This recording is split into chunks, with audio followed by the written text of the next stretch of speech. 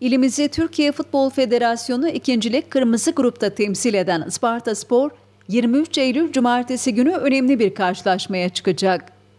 Ligin dördüncü haftasında karşılaştığı Sarıyer maçından mağlubiyetle ayrılan temsilcimiz, kendi saha ve seyircisi önünde konuk edeceği Düzce Spor maçından galibiyetle ayrılmayı hedefliyor.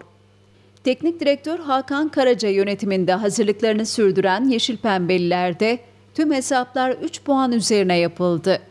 Oynanacak karşılaşma öncesi grupta Isparta Spor 6 puanla 7. sırada yer alırken, rakibi Düzce Spor ise 7 puanla 6. sırada bulunuyor. Öte yandan Türkiye Futbol Federasyonu ikincilik kırmızı grupta hafta sonu oynanacak karşılaşmalarsa şöyle.